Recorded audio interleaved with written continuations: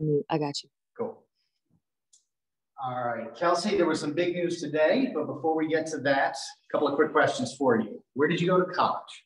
University of Washington. And what state is the University of Washington in? Washington.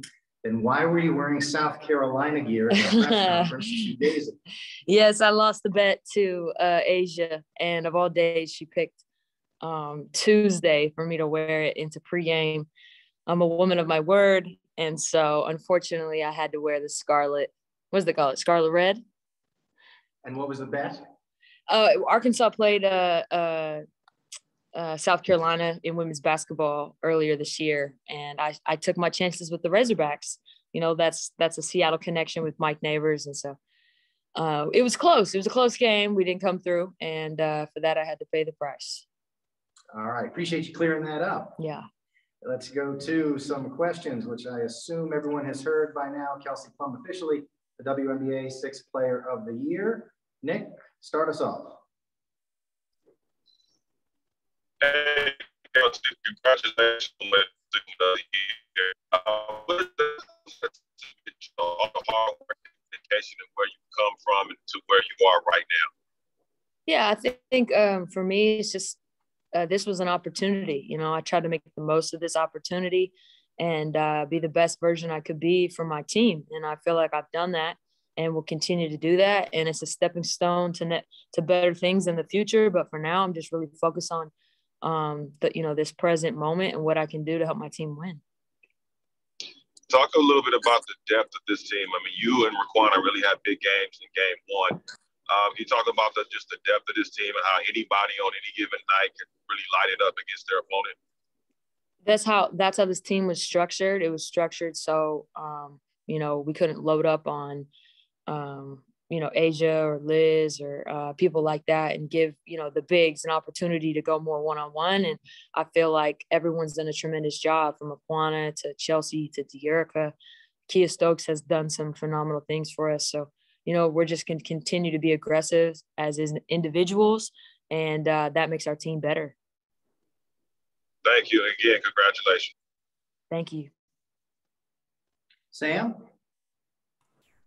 Hey, Kelsey, congratulations on the honor. Um, as far as tonight is concerned, the, the backcourt, you, you guys really presented their problems in game one. Are there any kind of adjustments that you're anticipating in, in game two?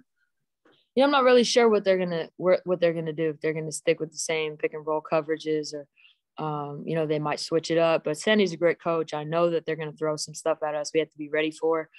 Um, so I, I really don't have an answer for you, but we'll find out tonight. Uh, what about the way that they defended y'all in game one um, created openings for you and, and your fellow back? I mean, I just think A'ja draws so much attention that they didn't want to leave her. So, you know, because of how good she is and how much of a presence she has, the bigs are more uh, hesitant to stay on the pick and roll stuff. So I think I think whether that's on ball or off ball, they don't want to help off. And so when when you have that, it leaves the guards um, a little bit more, you know, open. Thank you and congratulations again. Thank you. Mean Gene, just checking with you once again. Hey, uh, Kelsey, congratulations on your award. And uh, what what what uh, do you plan to do different tonight as far as what you did Tuesday night? What what's your mindset going into this game? Uh, my mindset's been the same all season. I've always played with a playoff intensity from game one till till right now. So for me, in terms of my mindset, nothing changes. You know, throughout the game, I'm sure schematically there'll be some different things that we'll have to adjust to, but uh, same intensity, same same level of uh, fun, and uh, that's it. Okay, thank you. Good luck tonight. Thanks. All right, last one, Miss Jennings. Kelsey, sorry uh, to bring up something that you may have been asked about before, but I was just curious. The Achilles tendon injury is something that at one point in time would end careers for athletes and sort of the WNBA, I don't know if we can call it a club of people who've had the injury come back to have great careers is growing. Um, I was just curious if you had talked to AT at all uh, during her injury, her comeback, and what it's meant to see her back on the court for these playoffs as well.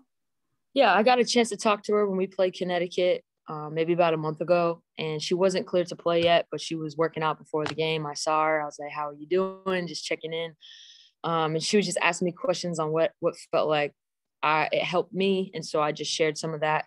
And I told her, man, you're a beast. You'll be back. And she has been. She's been playing great, and you know she's just going to continue to help her team. So, um, you know, I'm really, I'm really happy for her. It, it takes, it takes a village um, to come back from an Achilles injury, and so just a testament to Connecticut and their staff and how they've been able to help her get back. Cool. Thank you. Thanks a lot, Kelsey. Before we let the media throngs go, though, real quickly, just a reminder that uh, Coach Laimbeer has Zoom media availability before the game, approximately 5.23 p.m. Pacific time, and Dan Padover, general manager, will be joining him uh, as he was named today the WNBA's Executive of the Year for the second straight time. Thanks a lot. We'll see everybody tonight.